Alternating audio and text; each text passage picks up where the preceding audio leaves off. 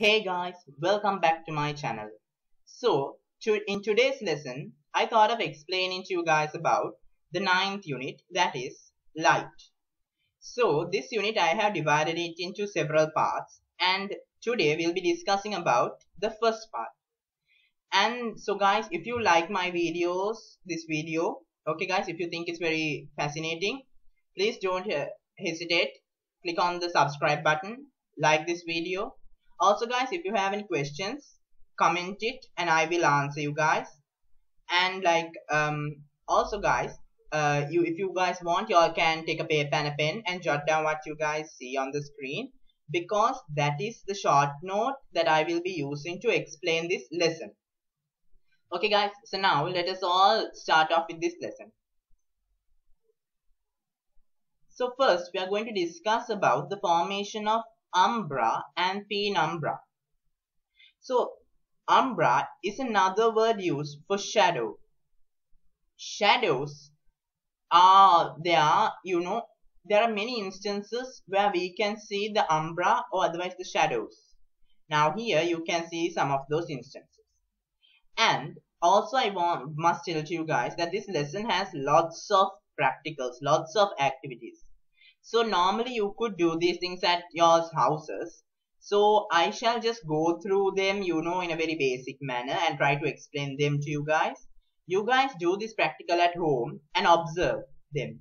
Observe what happens when you do this practical and then you will understand what I am trying to explain here in a very clear manner.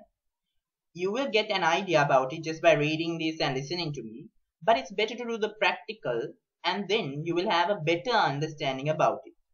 Okay guys, so now let us start off with our first practical activity 9.1.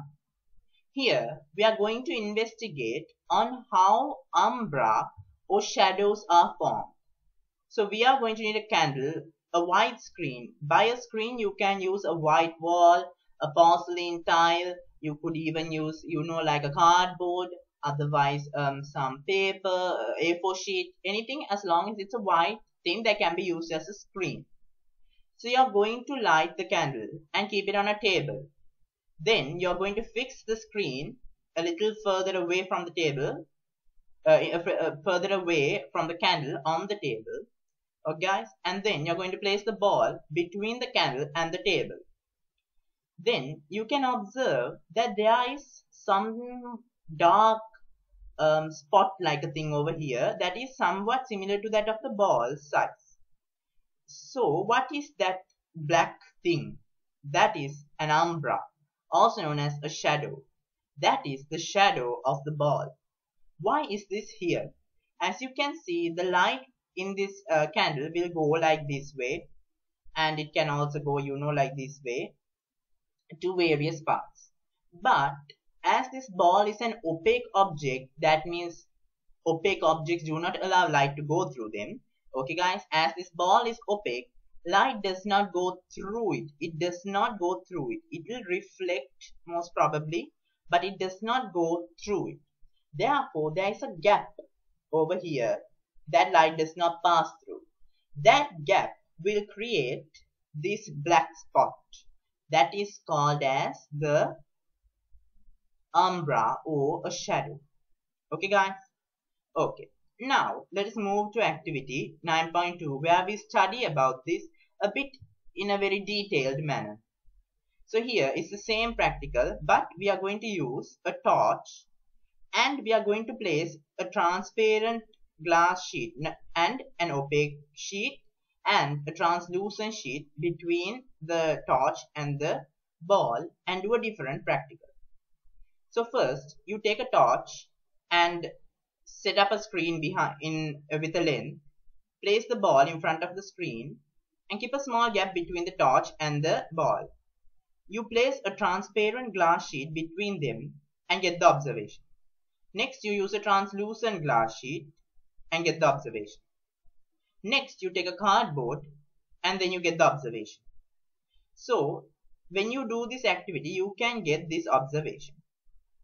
The transparent glass sheet. Transparent things allowed light to travel through them.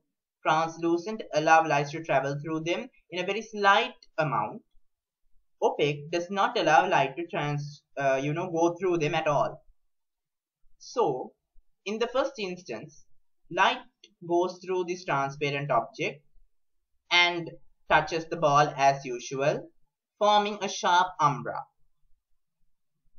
in the second instance the light goes through the translucent sheet but the amount of light that passes through it is very less. Therefore, there is not much light falling on the ball. Therefore, you get a blurry umbra, a blurry shadow. Next up, you use a cardboard, something, an opaque sheet. You will notice that there is no umbra because light does not pass through opaque objects.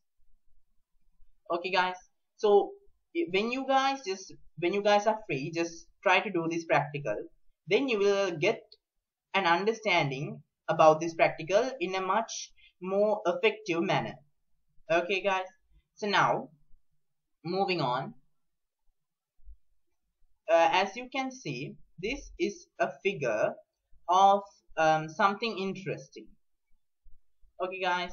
So here you can see there are various shadows this shadow these two shadows are quite long compared to these shadows this shadow is towards this direction, this shadow towards this direction, this shadow to this, this shadow towards this direction. Like such, these shadows have different lengths and different directions. Why is that? Now as you can see, this is a morning shadow. The sun is over here. The direction of light comes from this side to this side. Okay guys, and this is the evening shadow. Here the evening sun is over here. Light comes from this side to this side. And the shadow is formed over here. In the noon, the noon sun is right above him there and the shadow is formed over here. So guys, can you see that there is some connection between them? Yes. So the connection is, uh, you can first, let's ask a question from ourselves. First question is, you can see these shadows are different in length and they are in different directions. Why is that? Now you can see that in the morning when the sun is here, the shadow is in this direction. Evening, the sun is here, the shadow is in this direction. Light comes from this side, so the shadow is here. Light comes from this side, so the shadow is here. So what can, what does this mean? That means the length and the direction of shadows differ during the angle and the direction of sunlight falling on the object. The length and the direction of shadows differ due to the angle and the direction of sunlight falling on it. So the lengths and the directions of the shadows differ according to the angle and the direction of sunlight falling on the objects. Okay guys? Good. Now then let's move on. Um, now we must understand that during ancient times, um, people used the length of these umbra shadows as a method to measure time.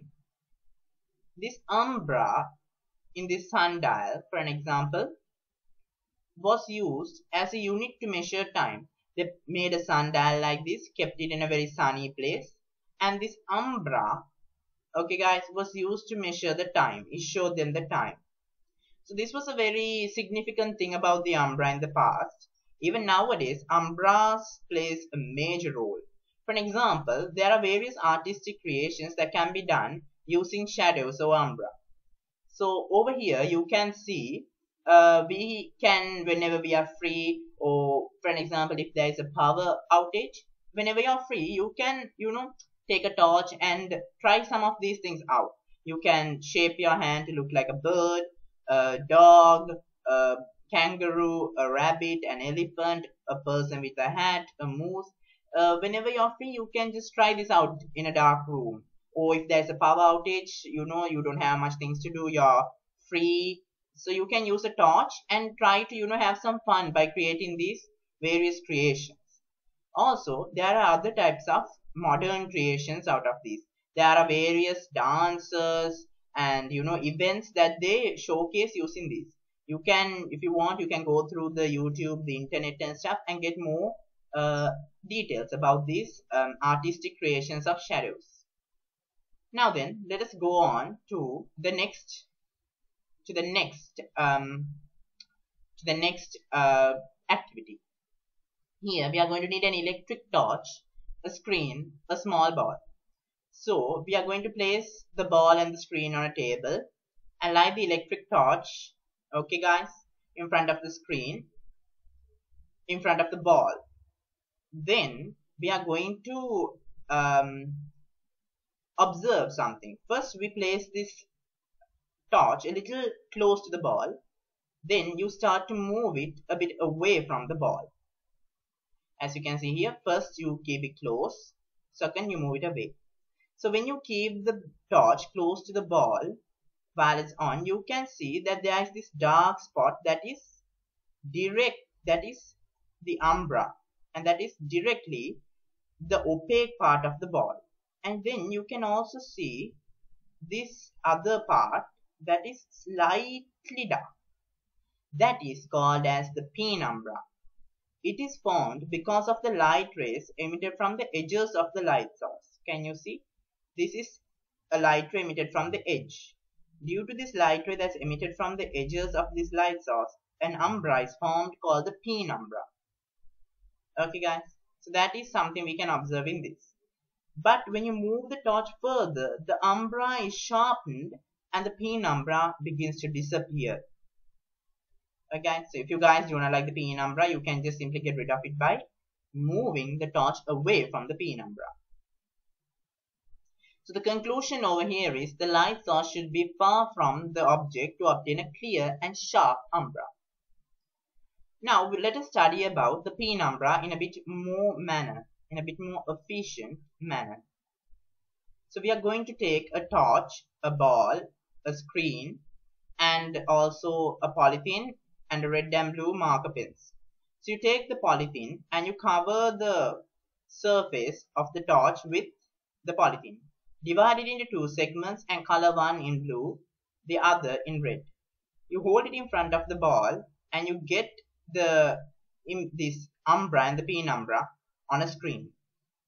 This dark part is the part that is directly under the ball, that directly mm, uh, under the ball. This is the part which represents the opaqueness of the whole ball. And you can see over here there is a bit of um, a blue color and a red color. You know guys? So this blue color and red color represents this penumbra which was emitted by the light rays of the edge which was emitted by the edges of these light rays okay guys. So the upper part of the penumbra is blue in color. Lower part will be red in color. And why is this red and blue? Because that is the part of light that is emitted from the edges of the light source. Next up moving on we are going to go to some extra knowledge questions. So normally they do not um, tend to you know stress you all about this lesson but it is really important and if you go through this you can get to know some interesting facts. And also when you go through this you can have a better understanding about the lesson. So i'll just you know like read this out and go through this. So basically in this what they're telling is that the umbra is formed on a screen because light does not pass through the ball as it's an opaque object. And the penumbra is formed because light rays emitted from the edges of the light source as you can see this is the penumbras okay guys?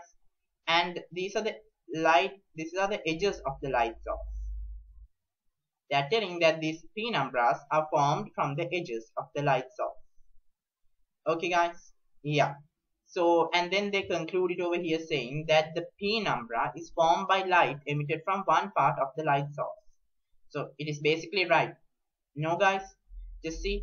Like now I told you the penumbra is formed by the light rays emitted from the edges of the light source. I told you by the edges of the light source.